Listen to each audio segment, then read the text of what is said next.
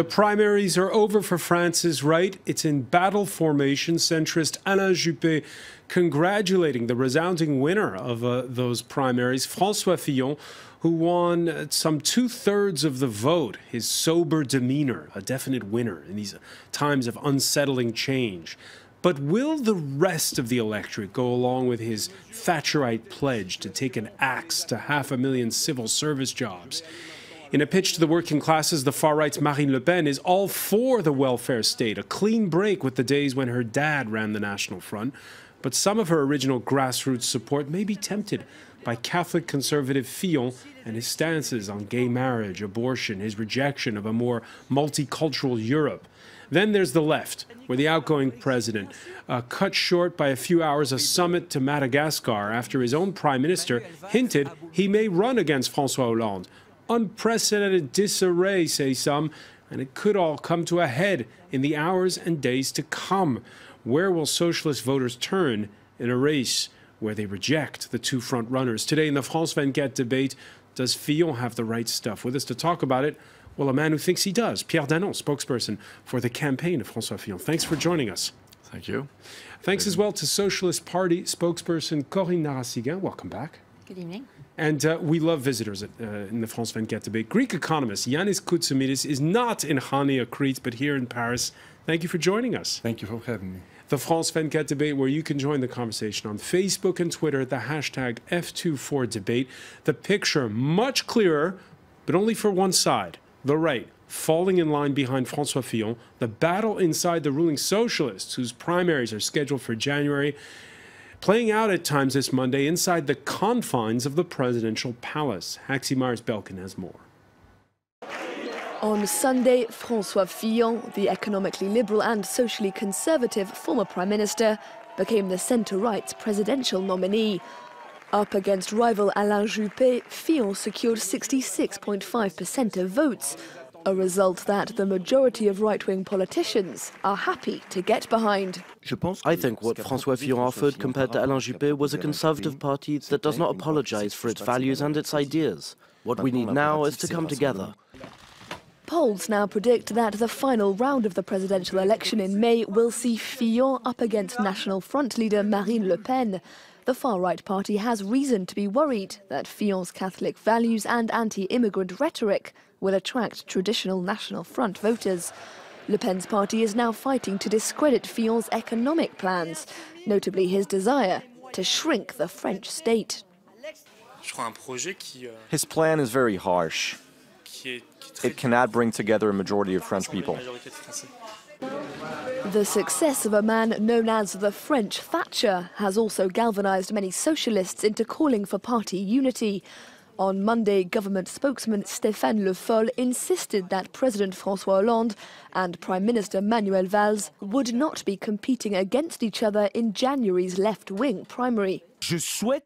I want for us to come together not for us, but to try to carry out a project that protects those that now might, quite rightly, feel threatened by François Fillon's proposals.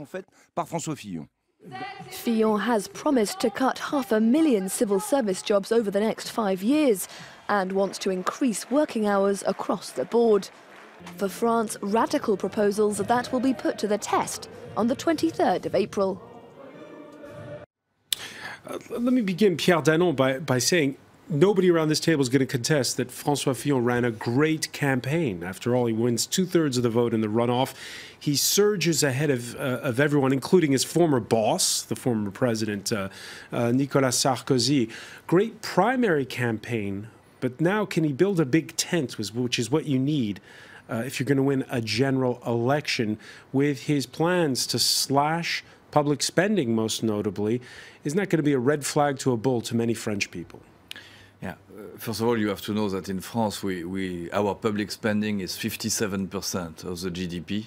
In the average of European Union is 50%, and the Germans are quite near 45%. So what François Fillon wants is just to get back where a lot of other people are, which means actually cutting 100 uh, billion euros, uh, which means leaving the public spend flat over the next five years, because that's what it means, cutting um, 100 billion uh, against the trend.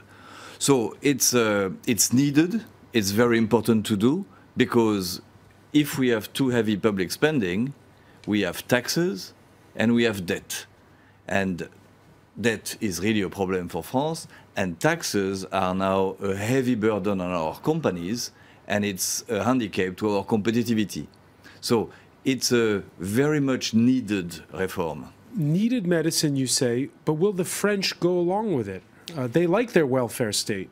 Yeah, you know, th there is a lot of pedagogy needed uh, when you want to reform France. François Fillon is doing that since three years. Uh, when he started to say that we wanted to, uh, he wanted to uh, push the retirement age at 65. Let me remind you that in Germany it's 67, and in the UK also 67. We are at 62. He said that he wanted to push it to 65. Three years ago, it looked like lunatic in France and, and very aggressive. Now I think that with explanation, pedagogy, talking to the people, which we have done a lot, it starts to be accepted. So that's, that's what we are trying to do with him, is explain to the people why it's needed. He wrote a book, I think it was 10 years ago, saying that the French people can bear the truth. That is the big criticism that's leveled against both candidates in the 2012 election. Neither of them confronted the size of the problem. François Hollande will recall on the campaign trail, uh, ran a very left wing campaign, uh, complained about finance, about banks, but then he he did reform, but he didn't do what he promised as a I as think, a candidate. I think if you look back, at, I'm, I'm sure we'll have uh, many opportunities in the next few weeks, in the next couple of months, to discuss uh, what we've done since, since 2012.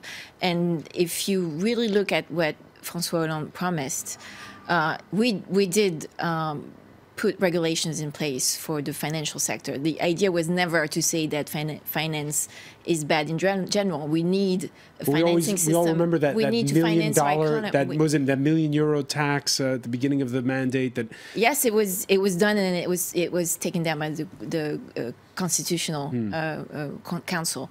Uh, but we did create a new uh, higher tax bracket for the the, the highest revenues. Uh, we did do that. And we did put regulations in place in the banking system. We did push the, the, the regulations at the European level.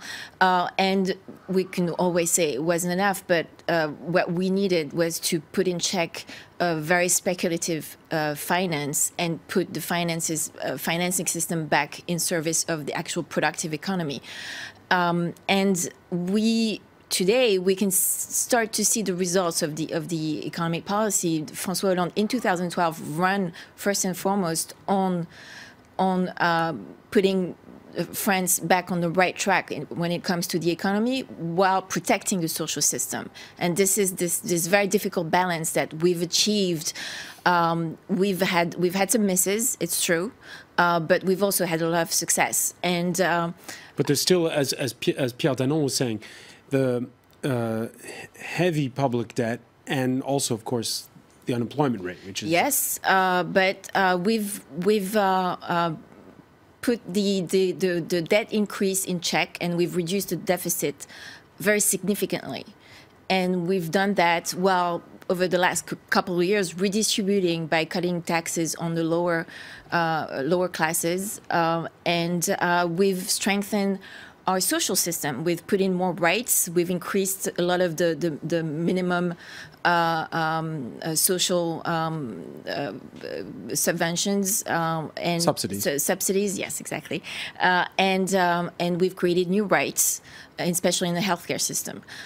Yeah, Yannis Koutsomitis, it's all about perception, isn't it, an election? And uh, what's your perception, seen from the outside? Were you surprised to see that the frontrunner was a man promising to slash half a million jobs, something that is unpopular among some, even within the right.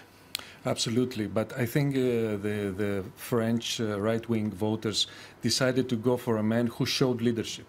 Fillon showed leadership in the last few weeks, and he was quite convincing in the debates, especially in the TV debates, that he can lead this country in a more prosperous times.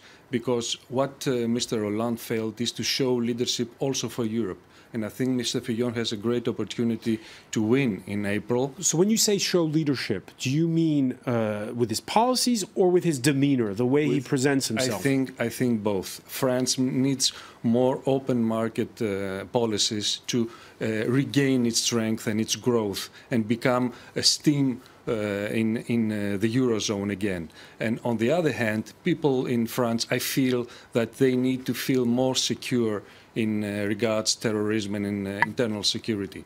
On the other hand, the very sensitive issues of uh, religion, identity, this will be debated a lot, and I think Mr. Hollande has an issue there to say that uh, it is uh, an open society. France has always been an open society and should not be a closed society. So we see, I see, my opinion is there are good uh, good plans by Mr. Fillon to revive the French economy, but there's many debatable issues for his identity and national policies. A little more than 4 million voted uh, in the primaries of the center and the right. That's a little more than 11% of those who cast ballots in the last presidential election in 2012.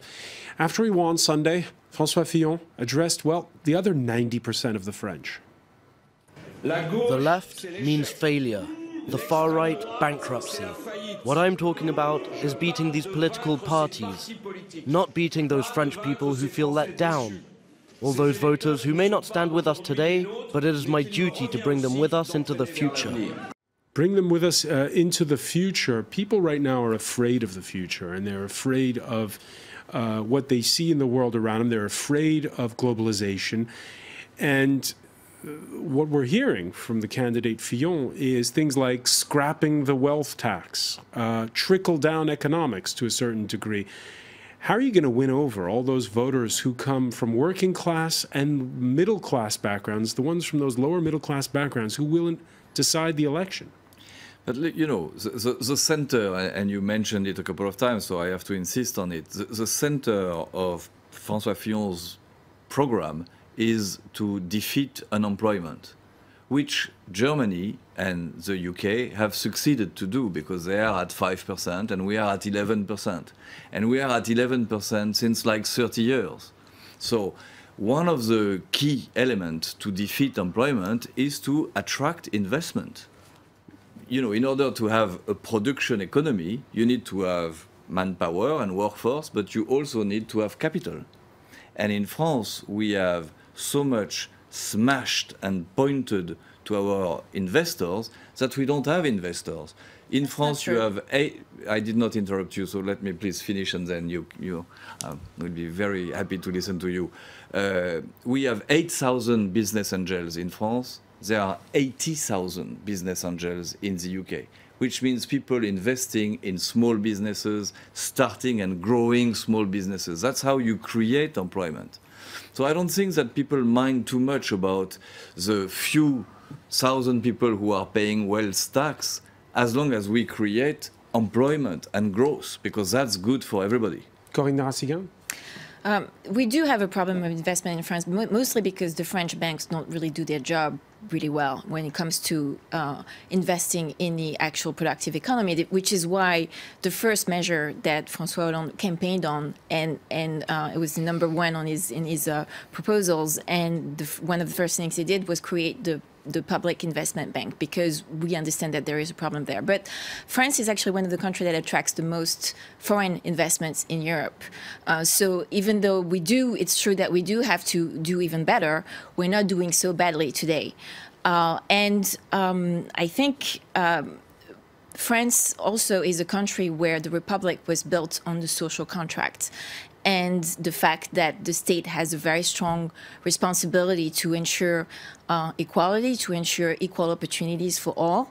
And this is why French people, most French people, um, understand the need for uh, very strong public services, which means that you know a little bit of a higher taxes but because it's always the choice. You can choose choose to pay less taxes but you will have less social services less public services. Uh, you can make a choice for uh, uh, the, the, the kind of job market that you have in the UK or in Germany but that means uh, lower lower paying jobs uh, with partial um, partial time jobs, and this is this is a political choice. It is a very political choice that we want to have good jobs full-time jobs uh, for for the French. When there were labor, when there were labor reforms put in by the, by the by the by the current government, even though some of the unions signed on, there were still hundreds of thousands of people in the streets. Yeah, let, let me first uh, uh, answer, uh, Madame. Uh, in, Fran in, in France, we have 90 civil servants for 1,000 citizens. In Germany, they have 50 civil servants for 1,000 citizens. So the difference is 1.6 million civil servants that we have in addition to what the German have. I travel a lot to Germany. I have not noticed that German people were especially unhappy about their public administration.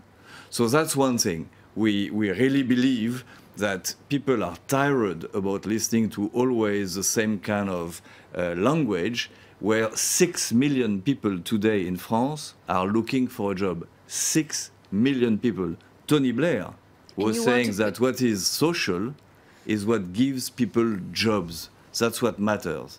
But now, in just answering your, your question, uh, it is true that there have been a lot of people in the street for in the summer. Uh, first of all, we really believe that François Hollande had it all wrong in the way he, he dealt with, uh, with that law, and that was what attracted a lot of demonstration. May I remind you that in France, when François Fillon did reform the retirement system in 2010 and in 2003, there were millions of people in the street, and nonetheless, the reform went through. And we still have those reforms. If we would not have those reforms, the retirement system in France would be collapsing. Yannis, let me just get your reaction to begin about uh, when you look at the conversation in France. Obviously, uh, in Greece, it's completely different uh, from from from what it is here. What are your thoughts? Did I get back to that original question that, that we asked, which was, uh, did François Fillon run a great primary campaign, but not so good in a in a general election? Yes, well, uh, the, the primaries were followed closely by Greek media, and I think the Greek public were uh, impressed by the quality of the discussion. I think it was a good uh, result for the Greek, uh, for the French democracy in general, because it was very different from what we saw in the States. The States were exchange of insults, and in France was real uh, political discussion. So I hope that it stays on in, in, the in the election as well, because France needs to lead in a political sense Europe as well.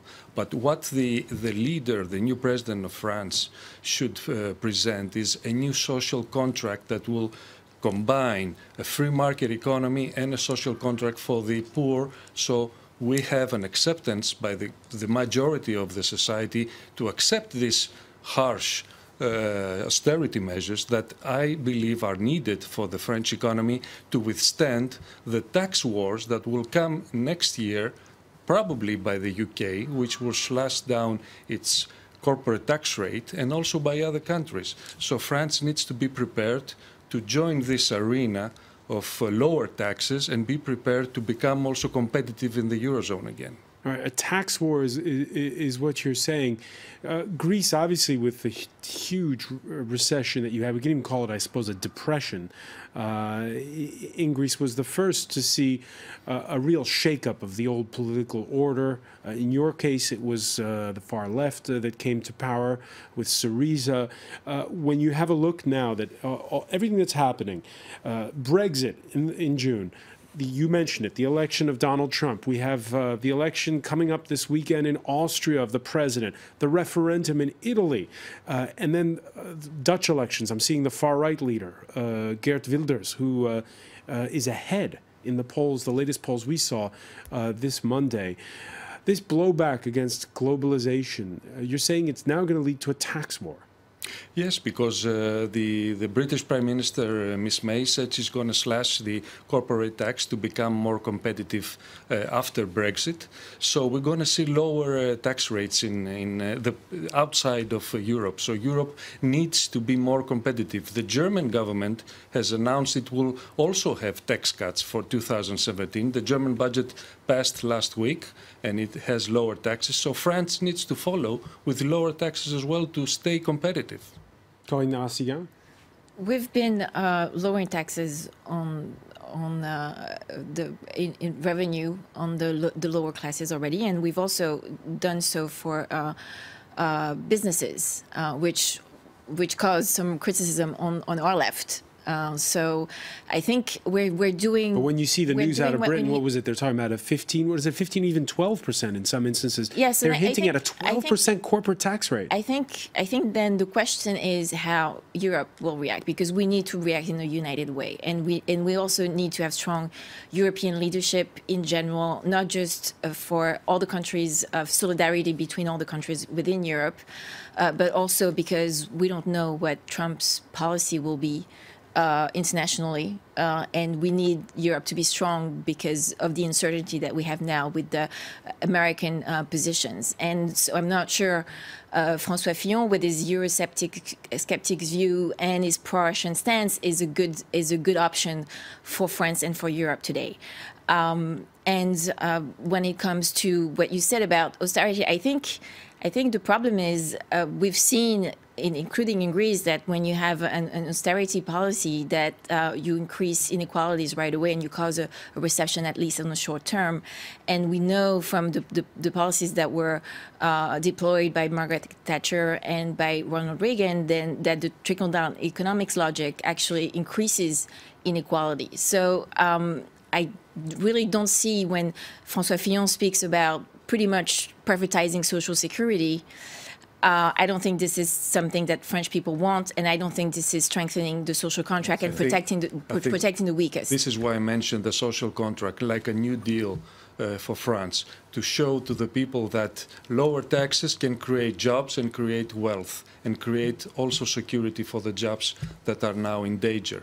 On the other hand, if you have just uh, cut jobs and austerity, then of course there will be uprising and people on the streets demonstrating. This is what the new president, if it's Mr. Fillon yeah. or whoever, this is not what Mr. Fillon is running on, unfortunately. Pierre Danon, will it be will it be every country for itself under under a, an eventual President Fillon, or do you agree with Corinne Narassiguin? There needs to be a Europe-wide response to to the tax breaks that might come from Britain's, for okay, instance. So step by step. First of all, that's a kind of really. Uh, things that are uh, really uh, not true.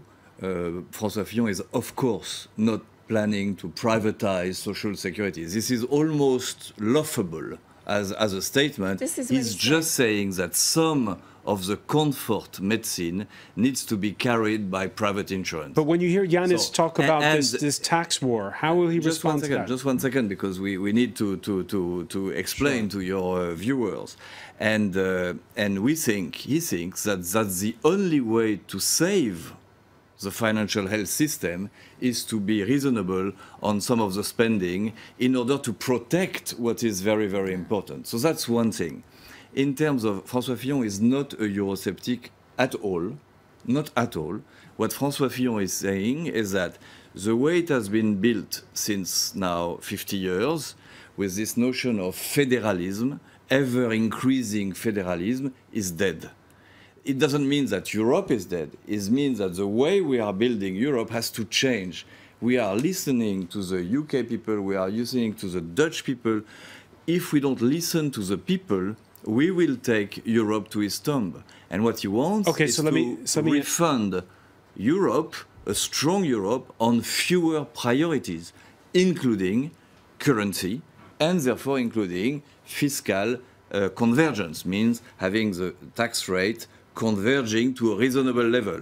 Of course, we'll probably ask the Irish people who are at 12% to do an effort, but we are at 33%. We are the total outlier in terms of taxes. We have to bring our taxes down also, and the only way to so do that you're for tax harmonization tax harmonization yes but at a lower level is what you're saying yes of course okay of course now uh, we're going to talk about the left because there's been a soap opera playing out at the presidential palace. The president and his prime minister, they held their usual Monday lunch. It happens every week, but if you believe the press, it almost didn't happen. The interior minister's name uh, was even floated as Francois Hollande's uh, reported choice uh, to replace Manuel Valls. This over the pr current prime minister's uh, interview in a Sunday paper, where he pondered running against the boss. Charles Pellegrin has more. Don't be fooled by the handshake. Manuel Valls is slowly launching a campaign to distance himself from President Francois Hollande.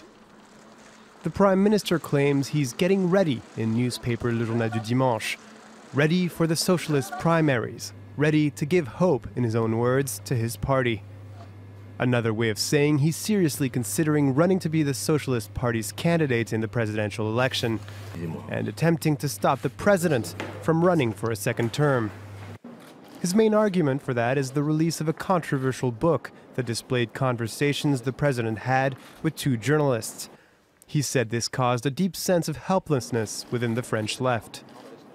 Manuel Valls believes that Hollande should never have confided so much the Prime Minister dodged the question of his possible candidacy, saying he will take his decision in good conscience and reaffirming his sense of duty to the French state. A few days earlier, he couldn't help but chuckle as he avoided a similar query. I'm tempted, but I won't give in to answering your question here. But I'll think about it. Only a few months ago, Valls declared he didn't like the idea of a socialist primary. Clearly, he's changed his mind. Corinne Narassiguin, the Prime Minister's office, putting out a statement saying he's not resigning. Mm -hmm. Uh, which is pretty extraordinary, isn't it, when you think about it, the way this this is all unfolding. Well, he had, he had to put an end to the rumors, um, but. Um, but I mean, a prime minister doubting his president in a newspaper interview. Is, I think there is there's there's been questions uh, on the left for a while. What happens if François Hollande decides not to run? Who do we have to run uh, in the primaries to to uphold the, the line that we've. But the, the, the reasoning being, especially uh, after the victory so, of the right, is yes. that time is now running short. Those primaries are in January. Yes, should we'll François know, Hollande, for the we'll, peace of mind of his own party, announce this well, week we'll, now his, we'll, his candidacy. We'll know very soon. We'll know in the next few days anyway because the because uh, the candidacies have to be put in between December 1st and December 15th. So I'm guessing probably by next week we'll we'll know. Um, and uh, and I think uh, everybody cooler heads must prevail. I think everybody needs to put their egos in, in check because the right uh, electorate has, as they've shown by massive uh, participation in the in the primary, which is a good a good good news for democracy. Um, that they they will be united behind François Fillon. There there is a dynamic there uh, on the right, and facing that, the left has to be responsible. Whether there are candidates within the primaries or the ones who very irresponsibly, in my in, in, in my way of thinking, are, are candidates outside of the primaries because we need a united left if we want to pass the first round of the presidential election, if we don't want to have France choose between François Fillon and Marine Le Pen in the second round of the presidential election. And so when it so comes far, to nobody inside the Socialist Party is, is Nobody said the that they're going Party, rogue on that score. Yes, and no, nobody in the Socialist Party uh, is talking about running outside the primaries, and nobody in the Socialist Party actually we we've had a, a discussion at the, the Bureau National, national. Uh, National Bureau. Uh, the, yes, um, uh, today. Uh, we, Monsieur Macron is not a socialist. He said it himself, uh, and um, and but that's interesting because Yannis Koutsomitis, for in his mind and in a lot of French voters' minds, no, Macron, even though he's not maybe inside outside the of France, but I don't think in France no, nobody believes that Mr. Macron is a socialist. Um, but um, I think nobody in the in the Socialist Party wants to see a competition between the president and the prime minister within the primaries. So the, the logic is François Hollande must make a decision, and when he has made his decision, either he runs and uh, this will we will know the, then who all, all, the candidates are, and if he doesn't, is he going to wait till the last possible minute till December fifteenth? If you're saying no, no, I think he, he knows that, especially because uh, there's a lot of uh, questions about that. That we we need to have a, a decision uh, sooner rather than later. Uh, and so when sooner? Is it this week? I, I can't tell you because that's his decision. Um, but I'm, I'm guessing most likely next week. All right, an online poll for Harris Interactive without Valls in the running uh, puts the outgoing president in fifth place Uh, there you see Francois Hollande's number is actually below the unemployment figure right now. Uh, Francois Fillon uh, tops ahead of uh, the far right candidate Marine Le Pen. Emmanuel Macron, we were talking about him a moment ago, the former economy minister, um, who's making a way for himself in the center of the field, slightly ahead of the far left candidate who's just gotten the endorsement of the communists. The last one you see on that list, uh, Francois Bayrou, was the centrist candidate in 2012. Uh, he hasn't announced whether or not, whether or not he's going to run. Is, is, is Francois Fillon going to be able to, uh, by the way, uh, court those centrist voters who might be willing to vote for Francois Bayrou? Yannis Koutsomitis was saying that Fillon's going to have a problem when it comes to values because his values are not that of many French citizens uh, towards the centers. First of all, I'm very happy that you raised the point because you, you mentioned probably by accident that uh, uh, François Fillon had a, was against abortion and uh, against uh, gay marriage. This is wrong. Uh, he, is, he, he, will, he has said on record that he will never touch. He says he won't overturn abortion. them. No, he will not. But that he personally was against it. But that's his right. That's right. his. Uh, if we we are a free country and people can think what they want, but he has really said on record several times that he would not touch it. He's not uh, planning to touch again uh, the gay marriage. He's just planning to touch the adoption rules, which we can discuss about. So I, I, think that there is a lot of overheat about that. And we, we have, I mean, we've played the campaign speeches of him saying, yes. for instance, the, the how good colonialism the uh, ha, has been. And, uh, that, that, no, a cultural exchange is what no, he said. No, Those were his words. That's not what he said. We could touch on that also. We were on values. I'm just saying that the values that he's displaying and that he's after we think that can easily bring the center of uh, with us. And by the way, most of the center has already joined François Fillon. Most of the leaders have joined and supported François Fillon. So you will have center and right very much united. Remains François Bayrou. Time will tell. But one thing is sure, is that François Fillon will not negotiate his program in exchange on having the center the rest of the center come to him, we, he thinks that his program is the only one who can uh, redress France and get us back on the right trajectory. So he has very clearly said that he will not negotiate the program.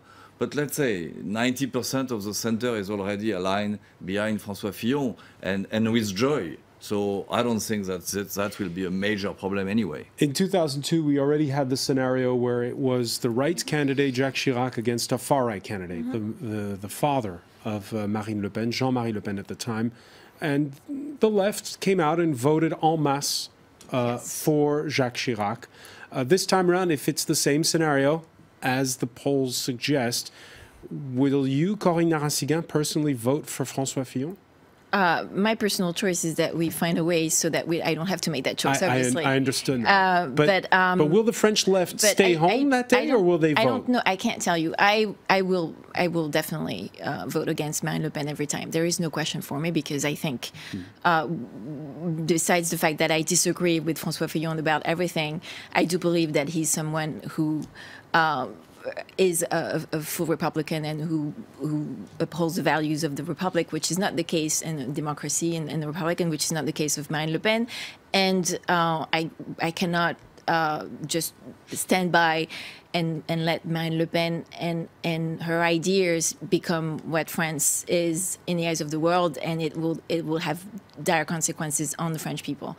Uh, but I'm not sure that the the Republican front, as we call it, would actually hold with François Fillon because because of his positions on identity, of a very monolithic, monolithic view of what French citizenship is, uh, on uh, issues of women's rights and and, and uh, uh LGBT rights. Because if he did see, say that he would not overturn abortion, uh, it doesn't mean that uh, he would be very progressive when it comes to the fact that we voted for um, uh, free access to abortion for everyone, the fact that we modified the laws on, on, abortion, so he could still he could still you know reverse some things without completely overturning the right. And the, and the question of adoption, I think it's is a is a, a, a way of maintaining this uh, ideas that uh, homosexual parents cannot ever be real parents, and that's that's a big issue uh, that no, we have to. It's, it's true. It's no. it is exactly no. what the position is. He's in favor of uh, homosexual parents adopting. He has no problem with that, and he has said it. But he, the, no, because his it's only mix. problem is that he doesn't want that this adoption erase biological parents. Yeah, but the, the, the question of access to question of access to origins is a real serious question that needs to be addressed. But it needs That's to be addressed also for heterosexual parents who adopt the same way, because you're also erasing the true history of people. And so the question of access to origin can be discussed, but it cannot be discussed based on the social, social uh, sexual orientation of the parents. Lots of reactions on the hashtag F24 debate. We'll read just one for you. Fillon has a better chance of defeating Le Pen than Juppé, and definitely a socialist candidate. Before we go, Yannis Koutsomitis, uh, it's um, somebody who is a staunch conservative um, and who's tacking to the right, who's going to be the standard bearer uh, for uh, the center and the right in France. Um, I've heard it said that um, it's not a year to be a centrist in any case. What's your, what are your thoughts in terms of that when you look at France? Yes, we see on, not only in France, in other countries as well, the centrist politics are on defensive now, and I think there needs to be a new a new agenda, a new narrative from the centrist parties to address the issues of security, social rights and uh, also the more competitive economy. Uh, unfortunately, there has been this move of populist uh, movements all around the world, I would say, the, the US, uh, other countries as well. And, and can those and, centrists, and can those people who believe in the European project and who believe in, you know, center left and center right, yes. can they can they come back?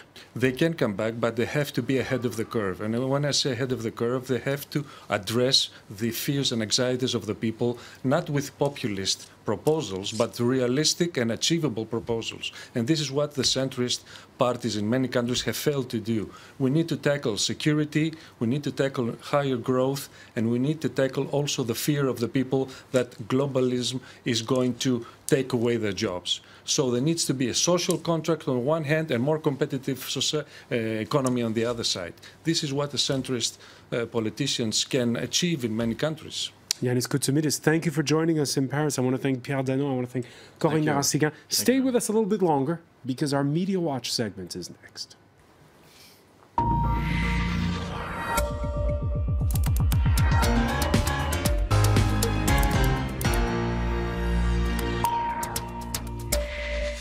And we say hello to Emma James. Hi there. Uh, you've been taking a look at uh, how this resounding win by uh, François Fillon in the runoff is, is playing out. Yes, a lot less surprise out there this time around because, of course, the week before it was a great shock. Uh, no one was really predicting that he would win by that kind of margin. It was 44% in the first round. Yes, um, but it did seem to be fairly accurately predicted that he would be as far out in front in the second round. Um, taking a look now at the cartoonist, wondering what kind of uh, president Francois Fillon could make, and of course tying this in with the death of Fidel Castro this weekend, um, it says it's Fillon who will lead the conservative revolution, and in Spanish it says ever onward to victory. Lots of eyebrow jokes, I've noticed. I know. I, he can't get away from the eyebrow jokes. I feel quite sorry for him, really, because um, short of getting them all plucked off, there's not much he can do. Uh, this is actually an old uh, cartoon that was first drawn when he was the French Prime Minister. And what it says is um, soon the retirement age will be 70 years. And in France, there's a saying, metro boulot dodo, which means uh, you take your train to work, you work, and then you go to bed, and that is your life. Um, and this obviously says uh, metro, work, and then the crypt um, pointing out that if the uh, retirement age is raised to 70, that's pretty late on in life. Um, another cartoonist here, instead of dancing with the stars, we have Dance with a Tsar. Uh, a nod, of course, to the much publicised and much Ah, about... we didn't have time to talk about it. You're off the hook this time, Pro-Russian uh, feelings, if you like, uh, proclivities of uh, François Fillon. Um, and that is something that a lot of people have been talking about. Um, if we take a look at this article, which is from a British uh, weekly the Spectator, which is very much a conservative magazine. They've posted this one on their website, uh, written by Gavin Mortimer, who is a British man who lives here in Paris. Uh, and he says there was too much complacency in the Juppé camp. They had sat back and thought, because up until just a few weeks ago, he looked very comfortably like he had an unassailable lead. Um, he prattled on about happy identity, says the writer, seeming oblivious to the reality of life today for all but the gilded elite. He goes on to say that Fillon travelled the country, tapped into the real concerns of the French people over Islam and the economy. But he also points out that the CGT union, which was behind many of those protests that we saw uh, earlier this year against reforms to employment law here in France, have already been talking about the fact that they say mobilisation will be on the agenda if we get Fillon as president next year. Um, he also when you say mobilisation, you mean strike actions, industrial yes, because he's talking about huge um, cuts. And also 500,000 cuts uh, mm. in the private, in the public sector. Sorry, um, 500,000 job cuts. That, those are big, swinging changes, and, and France traditionally is not a country that likes to see that level of reform that quickly. Um, and they have already said that much as many people were predicting that if Fillon gets into power, this is probably going to be the case. Um, he also talks about the fact that the National Front can benefit by playing on the fact that Fillon is seen as posh and privileged. Uh, looking at the Huffington Post French edition, they point out another potential challenge for Francois Fillon. They talk about um, an ambush by those who didn't vote in the primary. Can they block Fillon in 2017? It's a loud um, headline. Indeed. Uh, what they say is that the Conservatives seem to have forgotten that it's only 10% of the electorate who actually went out and voted this Sunday. Uh, so their candidate is not a shoo-in by any stretch of the imagination. And they also point that point out that the old and rich have been overrepresented while the youth and working class were absent. Something echoed in this particular tweet here. Uh, Fillon supporters are retired and benefited from secure job contracts, social security, retirement at 60, and now they want to destroy it all. Interestingly, as well, over the weekend, a lot of people were using this hashtag, which was I won't vote for Fillon because. Uh, lots of different reasons given, but lots of people talking about uh, this one says, uh, Vive le Moyen Âge, which means uh, long live the Middle Ages, pointing to the fact that really they see Fillon as someone who harks back to the past. All right, so celebration now, but um, a long campaign still to come. Long way to go. For both sides. I want to thank our panel once again. Thank you for joining us here in the France 24 debate.